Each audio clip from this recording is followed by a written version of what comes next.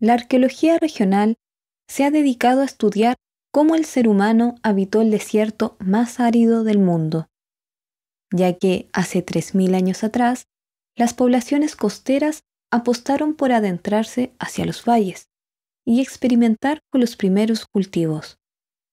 Con el tiempo llegaron a dominar la agricultura y surgieron así las primeras aldeas.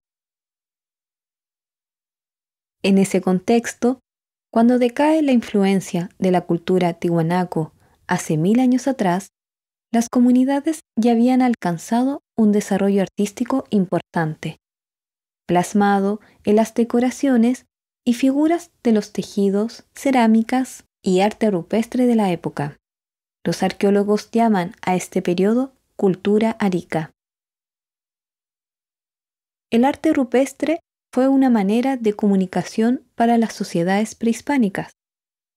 Así, a través de geoglifos, petroglifos y pictografías, transmitieron ideas sobre ciertos sucesos o lugares de su interés. El arte rupestre transformó el paisaje desértico de la región. Un ejemplo de estas obras de arte se encuentra en los cerros arenosos del Valle de Utah, donde se trazaron figuras monumentales mediante la técnica aditiva. Por sus rasgos geométricos y uniformidad, estos geoglifos hoy son conocidos como el estilo Utah. Dichas representaciones se ubican principalmente en la parte baja del Valle de Utah, y la mayoría de estas figuras miran hacia el mar. Fueron realizadas con piedras de color gris oscuro, para contrastar con el tono rojizo de los cerros. Gran parte de estas creaciones son formas humanas y animales como camélidos y aves, aunque también destaca la imagen de un mono con su columna arqueada.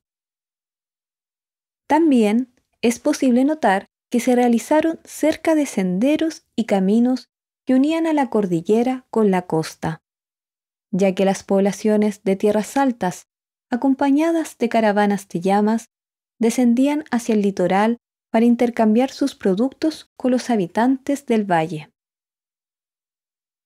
La magnitud de los geoglifos nos hace creer que fueron construidos con la intención de ser observados desde largas distancias.